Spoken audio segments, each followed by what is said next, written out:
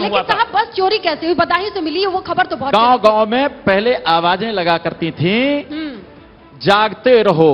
अच्छा। आज किसी गाँव में कोई आवाज़ नहीं सुनाई देती है। सीसीटीवी के सामने से अरे चोरों का आतंक चल रहा है रात रात भर गाँव रखा रहे हैं लोग। हम्म, रात रात भर गाँव रखा रहे हैं। चोरों का आतंक। गाँव के नुक्कड़ से निकलते थे अच्छा। तो रास्ते में लोग मिल जाते और थे, अखबारों में छप रही थे है बोले जो लाए हो जेब से निकाल के अच्छा जी। हाँ आप डॉक्टर साहब क्या कानून कानून की व्यवस्था मेरे क्षेत्र में उत्तराखंड बॉर्डर के कम से कम सौ गाँव हैं हाँ। जो रोज रात को अपने गाँव रखा रहे हैं। और ये बात मैं नहीं कह रहा हूँ अखबार भी लिख रहे हैं। अच्छा क्यों किससे रखा रहे हैं? कभी चोटी कटवा कभी बच्चा चोरी तो ये पुरानी सब खबर हो गई सरकार में ये है? बच्चा चोर की अफवाह तो आप ही जैसे लोगों ने फैलाई बच्चा चोर का चल रहा है खूब अखबारों में छप रही है। हैं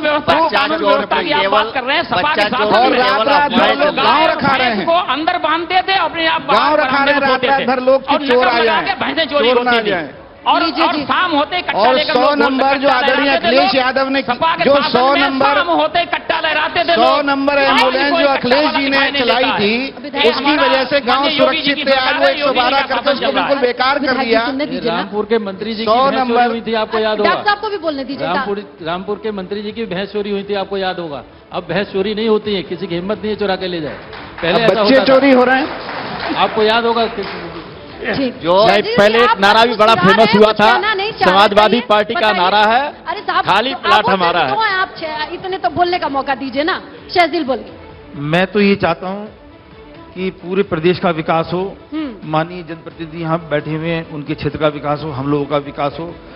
और बरेली में हमारी भोजीपुरा विधानसभा है नैनीताल रोड पे। हम्म।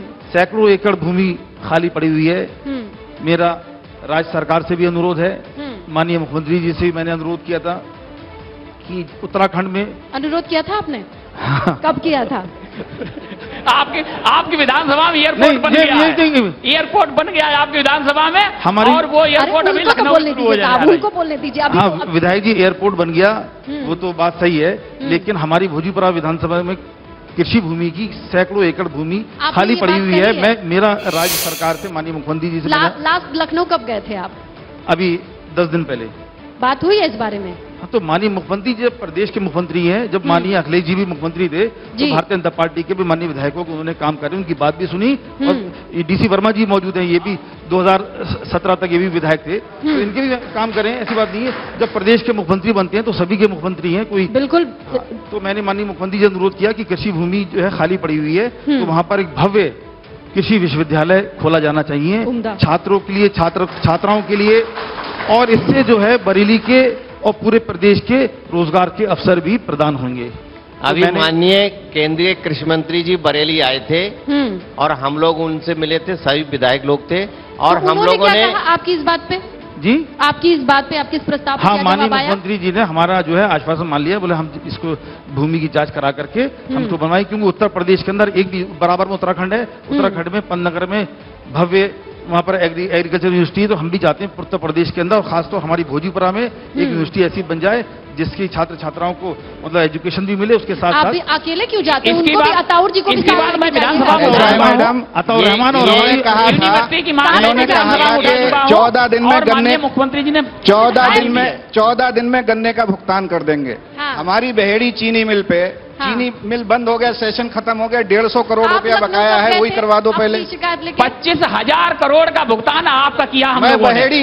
इतना पच्चीस हज़ार करोड़ और लाखों करोड़ में मत बताओ मैं बहेड़ी में डेढ़ सौ करोड़ रुपया है वही भुगतान करा तभी तो समझ में आएगा खामी कहाँ है जी। डेढ़ सौ करोड़ रुपए बहेड़ी चीनी मिल पर गन्ने का भुगतान बकाया है किसानों का। आप ये बात शिकायत लेके कब गए थे लखनऊ?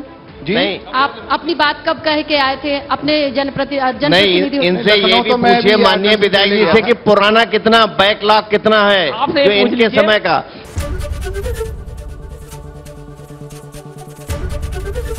एबीपी गंगा खबर आपकी जुबा आपकी।